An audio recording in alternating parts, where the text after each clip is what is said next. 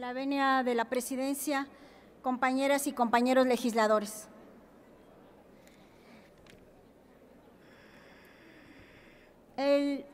se define a la trata de personas en el protocolo para prevenir y reprimir y sancionar la trata, especialmente mujeres y niños, el cual se adoptó en Nueva York el 15 de noviembre del 2000. Este instrumento internacional viene a subsanar una laguna de derecho internacional, ya que es el primer instrumento que aborda todos los aspectos de la trata de personas. El protocolo entró en vigor en el 2003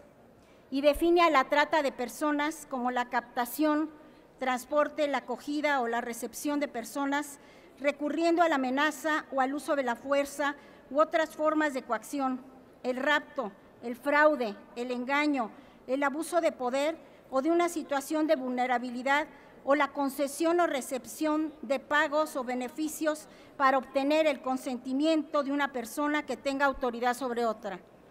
con fines de explotación. Esta explotación abarca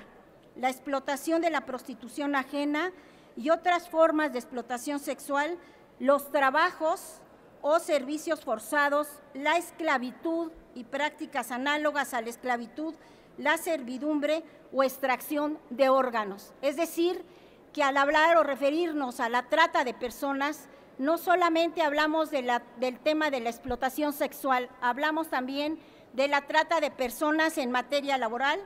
la explotación en materia de también este, utilizar no solamente la explotación laboral, sino también prácticas análogas a la esclavitud e incluso la extracción de órganos. Son de los crímenes más graves y podríamos calificarlos de lesa humanidad en la comunidad internacional. A raíz de este instrumento internacional, precisamente se adaptó nuestra legislación porque México ratificó el instrumento internacional y en la pasada legislatura la Cámara del Congreso aprobó la ley general, más bien las cámaras del Congreso aprobaron la ley general para prevenir, sancionar y erradicar los delitos en materia de trata de personas, así como la reforma constitucional al artículo 73, fracción 21, que faculta al Congreso de la Unión a legislar en materia de trata de personas. Esta ley tiene por propósito establecer en los tres niveles de gobierno su participación en el combate a la explotación sexual y trata de personas, el día de ayer se publicó en el Diario Oficial de la Federación el reglamento de la Ley General para prevenir, sancionar y erradicar los delitos en materia de trata de personas y para la protección y asistencia de las víctimas de esos delitos. El reglamento entrará en vigor a partir del día de hoy, 24 de septiembre. Desgraciadamente existen lugares en el país que son destinos de turismo sexual o ciudades en donde se practica, se ejerce de manera abierta y sin que se combata por las autoridades, sin ir más lejos, a unas cuantas cuadras de esta Cámara, en la zona de la Merced, se encuentra una gran zona de explotación sexual. Aún incluso vemos este, en estas zonas a menores de edad. También ocurre en las inmediaciones del edificio de la delegación Cuauhtémoc, en la calzada de Tlalpan, tan solo por mencionar el DF. Las redes de trata de personas están perfectamente bien organizadas y utilizan métodos que van desde la seducción hasta el secuestro para tener siempre personas, mujeres o niños que sean explotadas prácticamente en calidad de esclavos. Este crimen de lesa humanidad es uno de los crímenes transnacionales. Muchas de ellas permanecen en territorio nacional, pero otras son precisamente forzadas y llevadas al extranjero para ser utilizadas o como prostitutas o como esclavas en materia de trabajo. Se deben establecer para combatir este crimen los compromisos tanto de orden federal como de orden a nivel entidades federativas o a nivel incluso municipal en los tres órdenes de gobiernos para poder abolir de manera eficaz la trata de personas. Falta mucho por hacer en nuestro país y dentro del instrumento internacional se dan las pautas de lo que debe de cubrir precisamente el protocolo de Nueva York,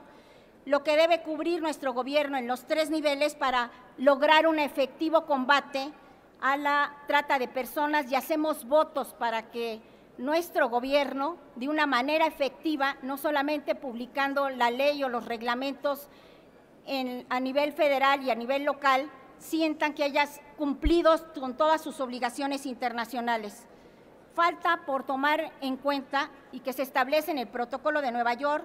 la prevención y las campañas. No he visto al momento una sola campaña para prevenir eficazmente la trata de personas. Y la trata de personas puede, pueden ser víctimas sin distinción alguna,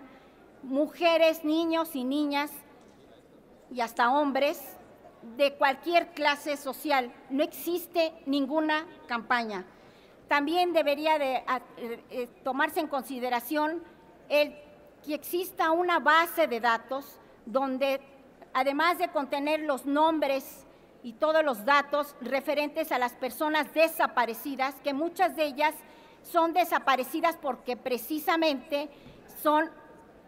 forzadas a sacadas de territorio nacional para destinarlas a la trata, a la prostitución o bien a trabajos forzados. Entonces, tener una base de datos a nivel federal y que abarque a las demás entidades, estoy por terminar, presidente, para que precisamente eh, se pueda en su momento hacer un combate efectivo de este crimen. La repatriación de todas las personas que, que han salido del país a través de las redes de trata de personas, la capacitación, ese sería el punto también crucial, de ministerios públicos y de las policías, tanto la federal, las locales y las municipales. En nuestro grupo parlamentario referendamos el compromiso de impulsar políticas públicas que se traduzcan en el combate eficaz a la explotación sexual y a la trata de personas, que es en el siglo XXI la forma contemporánea de esclavitud. Es cuanto y muchas gracias.